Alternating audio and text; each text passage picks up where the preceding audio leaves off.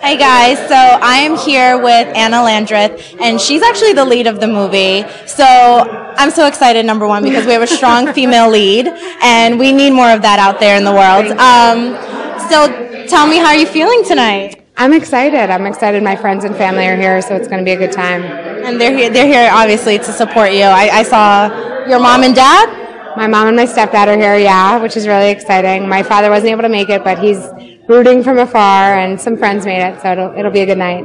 So I understand that you guys haven't seen any footage No. of anything that you shot. No, we haven't seen any footage yet. Um, I'm excited. I've seen a couple of the clips that made it to YouTube, but I haven't seen anything beyond that. So. I think that's a little nerve wracking. A little bit, A little bit, okay.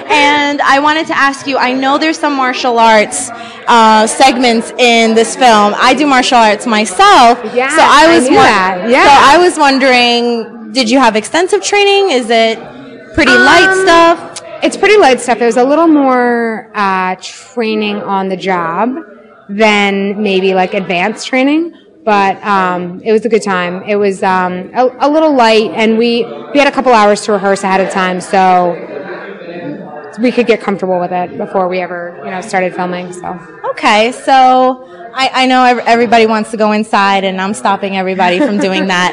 Um, but I just want to tell you guys to watch out because this is the next Charlie J- Angels, and we're looking for the third member.